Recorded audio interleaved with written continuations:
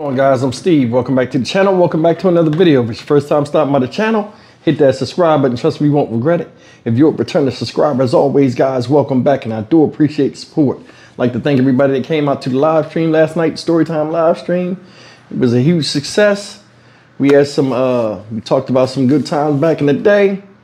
A couple stories i told you guys. Had some good laughs man. And it was a break for a lot of this depressing stuff that i report on which we are back on today now, the story I want to talk to y'all about now is making national news as of yesterday, but it came out. This story happened on Tuesday at around 11:20 p.m. in Manhattan, in New York City. I mean New York City. Shout out NYC. That's what I meant to say. But anyway, it's about this woman up here that you see attacking this Uber driver who looks like he's of some type of Middle Eastern descent. This woman's name is Jennifer Gilbo. And uh, she pepper sprayed this man 30 seconds into the ride. And uh, a lot of people are saying this is a racist attack and stuff like that.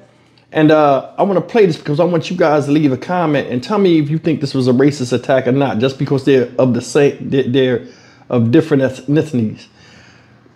I don't know if it was racist or not, and I'm gonna be honest with you, and I'm gonna tell you exactly why after we come back. But first, let's take a look at the video, and then you guys, you know, check it out and then hear what I gotta say. Let's go. But first, a Pix 11 exclusive.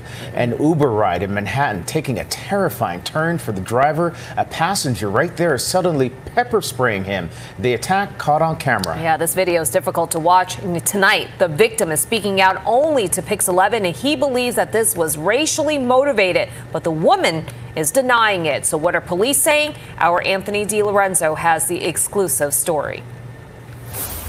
We obtained and reviewed three minutes of dash camera video from a 10 minute Uber ride that the driver says was otherwise unremarkable until it wasn't. It's Wednesday night, nearing 11:30 on the Upper East Side. Uber driver Shohel Mahmoud is on the phone, while his passengers, Jennifer Gilbo and a friend, are quietly sitting in the back. Then suddenly, 90 seconds into this dash camera video, what? What? What? What? Police say unprovoked, the 23 year old attacks Mahmoud and pepper sprays him in the face. Jen! Jen! Jen! What Jen. the Only mumbling. Out of the do? What Get him out. What Get him out. What Get him out. In my whole face, it's like burning near last two hours. I thought they're gonna be trying to hijack my car. We spoke exclusively with that driver back to work Friday night. Her and like the people like her, this is not the right way to treat people. NYPD officers arrested Gilbo on the scene and charged her with assault. Why do you do that? While neither the department or the DA are currently charging this as a bias attack, the Bangladeshi father of three believes it is because of his skin color. What I figured out finally see the video uh, is for my for, for my body color.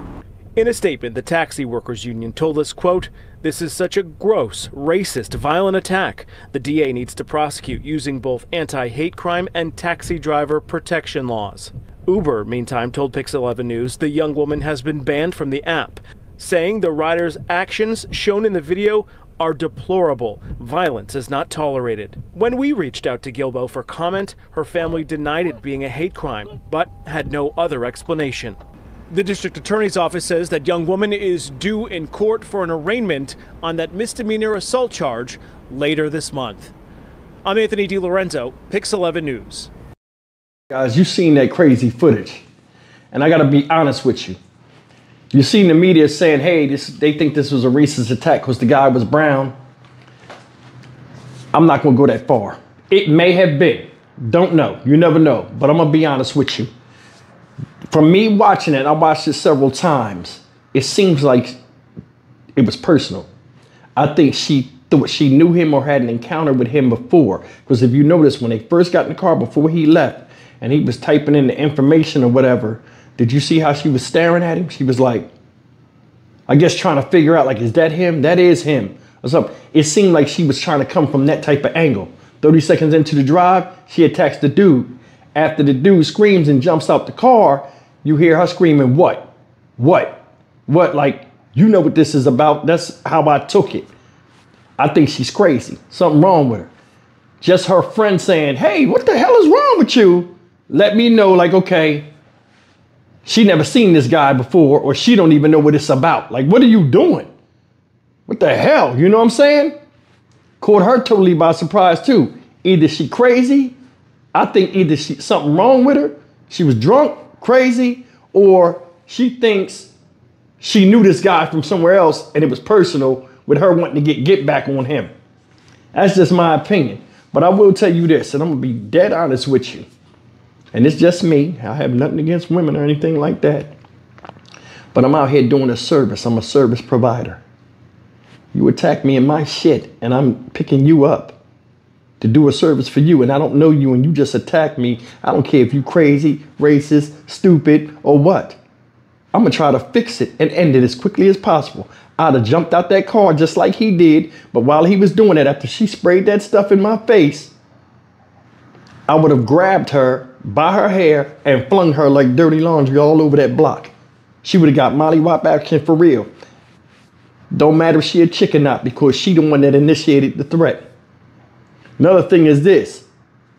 Her friend, you know what I'm saying? When she did that and her friend tried to sit her down, she was so turned up, she was ignoring what the friend was doing. Then she started climbing on this man's seat, trying to hold the back of his neck so she could spray his face. This guy right here seemed like he was scary. No, no, he just standing there like not even trying to block her or nothing like that. I'd have disarmed her. I'd have grabbed her, took that thing out of her hand, and then it would have just been on like hot butter popcorn for real. Because it don't make no sense. You get in somebody else's car, regardless if you have a beef with him or not. And do that while he driving. What if he panicked in the whole frenzy of that whole thing, hit the gas, tried to put the car in, in, drive, hit the gas, and then took off and then hit a whole bunch of people, got other people hurt, including your friend. You put everybody's life in danger because it seemed like you just had a personal agenda. I mean, vendetta with this man. And that's the thing that's crazy. You sitting in the back of the seat and just decide, ah, let me jump up and fuck this dude up. You see this a lot. This ain't the first Uber driver or rideshare driver that was attacked or robbed or carjacked, anything. These guys put their life on the line when they out there, guys and girls. You put a stranger in your car because you trying to make a living. You know what I'm saying? They get a, a little bit of respect for me. Me, when I first heard about Uber and all this other stuff, I say, ain't no damn way I'm gonna let a stranger get behind me in a car. Many people used to get killed in taxi cabs in the 80s and 90s. Y'all remember that? Because I'm from up the East Coast. I know. Ain't no way I'm putting some stranger behind me. And I gotta drive, watch the road, and then they, they can see the back of my head. No. No. But either way, man, I don't know what this was about. I think it was something personal. She probably thought he was somebody else or something. But either way, she shouldn't have put her hands on that man in his vehicle or any other time because trust me, she was lucky. He was very nice. Most dudes up there ain't like that. If that was a brother, she probably, this'd be a different story. He'd probably be locked up. Stock Market Steve for the Dynamic Reason channel. As always, like, comment, share, and subscribe. But yeah, leave me a comment, man. Tell me what y'all think. Tell me, y'all think it was racist? Cause like they pushing that real big. That's a big trigger word, racism. I don't know. I don't know. But I mean, give me your uh, opinion in the comment section. I'd like to hear back from you. I'll see you in the next video. Take care.